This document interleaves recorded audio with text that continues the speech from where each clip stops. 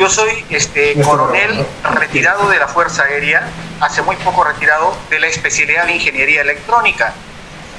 Eh, me han calificado como, eh, perdón, he hecho una maestría en Francia en, Ingeniería Espacial, me han calificado en mi país, en Rusia, me han calificado en Estados Unidos, me han calificado en China. Y, en realidad este, nos han puesto con todas las capacidades para poder contribuir con nuestro país. Yo lo hice en la Fuerza Aérea, este, he estado 31 años, es, eh, digamos, desde, desde los 16 años entré a la escuela de oficiales hasta eh, a los 20 años de alférez, toda mi vida en la Fuerza Aérea. Hemos, hemos, como los problemas que tenemos acá en la planta, hemos resuelto una serie de problemas en la Fuerza Aérea, que somos como peruanos dependientes de tecnología extranjera. Cuando me doy cuenta de esto, esta señora Glenda Melo, para que me pueda entender cómo me siento, cuando mi Fuerza Aérea me, envió a, Francia muy joven a estudiar una maestría en ingeniería en la ciudad de Toulouse. Ahí me di cuenta el atraso tecnológico que tenemos y que nosotros somos capaces de hacer muchas cosas. A mi regreso de la fuerza de, Francia, después de dos años, vine, hicimos una serie de cosas con, con, sistemas muchísimo más complicados que lo que hay en esta planta de oxígeno. Muy bien. Entonces, y, y hemos ahorrado mucho dinero a nuestro país. Entonces, bueno, he hecho ya la, digamos, el contacto que me hicieron para la planta lo hizo el ingeniero Arevalo. David Arevalo. Eh, David Arevalo del, del, ¿cómo se llama? El, colectivo Todos por San Martín. Yo estaba en mi casa, un amigo le dio mi nombre y me convocó a una reunión donde estuvo un padre y varios ingenieros, un ingeniero esposo de la señora Pichi, Víctor. Víctor Manuel Arevalo. Ok, estuvo también el ingeniero Ríos Buenaventura, estuvo el ingeniero, bueno, otros varios ingenieros que la verdad que yo vivo ocho años aquí en Tarapoto, tengo mi familia acá, es una tierra hermosa, eh, pero no conozco mucha gente. Eh, eh, entonces ahí tuvimos la reunión y comenzó, yo para esto cuando me convocaron a la reunión fue hace, si no me equivoco, dos o tres sábados atrás.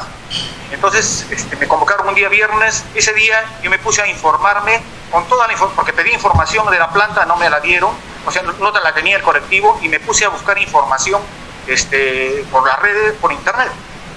Comencé a llamar amigos, comencé a enterarme bien del tema, porque yo no soy especialista en plantas, soy ingeniero electrónico y este, de la Fuerza Aérea. Lamentablemente no somos reconocidos como ingenieros en el Colegio de Ingenieros, a pesar de haber estudiado siete años de ingeniería pero bueno, esa es una situación que, está por resolverse. Eh, soy coronel sin ingeniero electrónico. Después de haber revisado toda la información, me he preparado para la reunión del día siguiente. ¿Qué pasó en esa reunión? Plantearon el tema. Yo no soy político, bueno, me gusta resolver, resolver problemas. Acá necesitamos gente que resuelva los problemas y que tenga la capacidad técnica, la capacidad de gestión y sobre todo el valor de poder tomar decisiones. ¿no? Entonces eh, comenzó la reunión y bueno, muchos de los técnicos e ingenieros que estaban ahí este, opinaban, algunos ya señores de edad. Entonces, yo creo que este, les, manifesté mi opinión que esto no tenía que ver nada con el tema político, nada con responsabilidades que acusar, no. Acá lo que necesitamos, señores, es oxígeno para que la gente no se muera. Y tenemos las capacidades de los técnicos ustedes acá para que, para, para que este, planteen una solución inmediata, tres semanas atrás.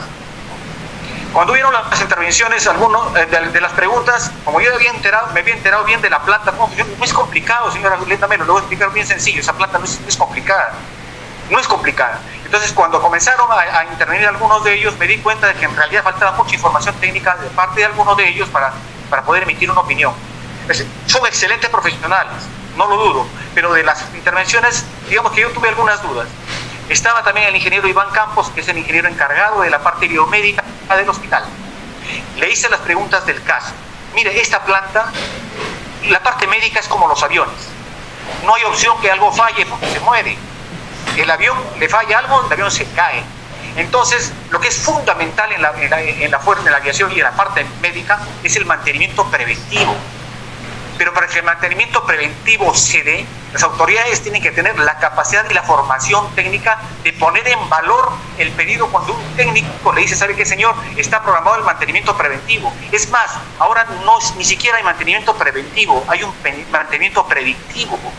O sea, la tecnología ha avanzado tanto y nuestro Perú está tan atrasado en tecnología, señora Glenda Mel. El problema es que, este, bueno, voy a, voy a salir del, aspecto técnico, porque en realidad soy ciudadano y tengo el derecho de opinar. Me parece que las autoridades no tienen el nivel profesional para poder meter en valor las cosas. Cuando uno conoce algo y a alguno le piden, por favor, ¿sabe qué? La planta de oxígeno este, se, llama, eh, se llama necesita su repuesto. Si ese señor agarra y, y está realmente calificado y es un, un trabajador, un funcionario público comprometido, con un sentido de pertenencia muy fuerte con su trabajo, inmediatamente toma la decisión o busca donde sea sacar la plata o, trata de convencer a la gente, así nos han enseñado de chiquitos en la Fuerza Aérea, porque el avión se cae y acá se pierden vidas. Esta planta, señora este, Glenda Melo, en términos muy sencillos, es igual que a, veces le dicen, no, sé que es una planta con un sistema PSA. ¿Sabe qué? PSA ni nada. Usted metes en el Google cualquier persona y entiende lo que es una planta PSA, es sumamente sencillo. Un video de YouTube le enseña cómo funciona esa planta. Y esa planta en realidad son dos plantas en una. ¿Entiende? ¿Y por qué? Y tiene razón, porque dos plantas lo han hecho bien. O sea, tiene una planta que son igualitas, son, son unas gemelas que están ahí. Porque si una se malogra, ahí está la otra. Pues pueden funcionar las dos. Y encima, ¿sabe qué tiene este, la ventaja? De que, una, de, que le puede dar este, oxígeno a, la, toda la línea del hospital tiene tubería de oxígeno. O sea, le entrega a los, cuartos, no hay necesidad de, ponerlos en botellas, de cargarlos, de, un montón, de llevarlos a los cuartos, de repente están contaminadas esas botellas. Entonces, tiene toda la línea para poner y aparte de eso tiene también un llenador de oxígeno ¿qué es un llenador de oxígeno?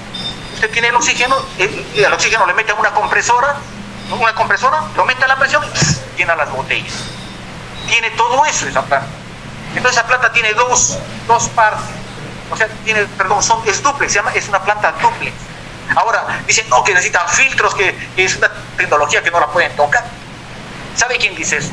Alguien que tiene una responsabilidad de gestión y no tiene las capacidades profesionales, disculpe usted, para poder resolver los problemas. ¿Me entiende? Yo la verdad me siento muy, muy preocupado.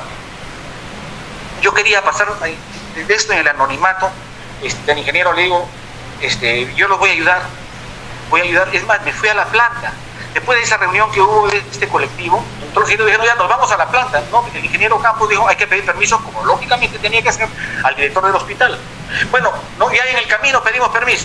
Nos hemos ido de, frente al hotel con Baza, ahí hay un, este, un, local parroquial. Ahí nos reunimos. Sábado, hace tres sábados creo vestido a las 10 de la mañana. Ahora yo me fui en mi carro, solo ya, pues, He llegado al, parque donde venden, ahí frente al hospital, al MINSA, y, no, no, los vi a los ingenieros. Los llamé al ingeniero oh, este, Arevalo y me dicen, no nos han dejado entrar. Digo, pero si yo ya entré. Entré, le pregunté al vigilante, ¿dónde está la planta de oxígeno? Al fondo. Lo encontré al ingeniero Campos ahí, inclusive otro técnico al costado, que también trabaja con él, le dijo, le dijo ingeniero, estoy con fiebre, pucha, ya, me puse nervioso. Ingeniero, ya estoy acá. No, me dice, no tengo autorización de enseñarle la planta. Ingeniero, ya estoy acá. Voy a entrar un ratito, quiero ver la planta. Usted entra, ve luces, ve focos, ve armarios, ve, tanques, ve tuberías verdes. esto es de tecnología de Marte. Falso. No es tecnología de Marte. Me puse, le digo, ingeniero, esta, las plantas están, acá hay dos plantas. No, me dice, sí, que están en serie. No, están en serie. Son dos plantas paralelas. Cada planta tiene su... Mire, bien sencillo. El aire está en el, el oxígeno está en el aire. 21% de este aire es oxígeno. El 78% por ahí es nitrógeno. Y el 1% es ah, otros gases, argón Mire, lo que hay que hacer ahí es del, aire, el 21% agarrar y sacar el nitrógeno. ¿Sabe quién, quién lo hace eso? Lo hace una cerámica chiquita, como parece una arenita, una arenita que se llama ceolita. Mire, para entender bien sencillo la cosa eso se mete en un, en, un, tubo más o menos de 2 pulgadas, así como un desagüe, como de 3 pulgadas de desagüe, pero es de aluminio, de un metro y medio, lo tapa arriba y lo tapa abajo y lo llena, lo llena. Por abajo le mete el aire que viene de un compresor, un compresor cualquiera, como el de ya, ya. y por arriba sale oxígeno. Por arriba sale, ya tiene oxígeno.